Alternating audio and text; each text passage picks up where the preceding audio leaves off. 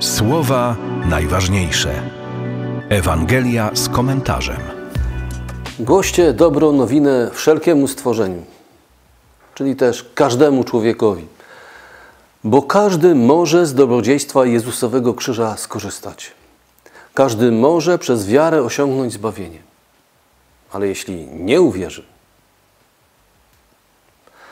nie chodzi o tych, którzy z jakiegoś powodu uwierzyć nie mieli szansy.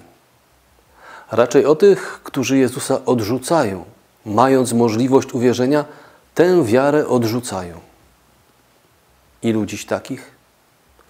Tylko Bóg zna całą prawdę o człowieku i na szczęście to On, a nie my, będzie kiedyś człowieka sądził.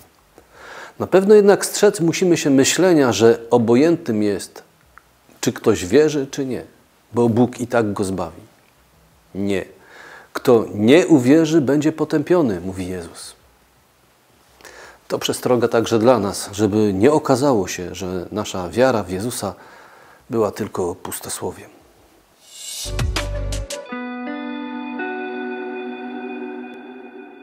Ten materiał wideo powstał dzięki zaangażowaniu wielu osób. Obejrzałeś go za darmo, bo troszczymy się o promowanie wartościowych treści. Jeśli Ci się podobał i chciałbyś zobaczyć kolejne, wesprzyj nas. Fundacja Gość Niedzielny.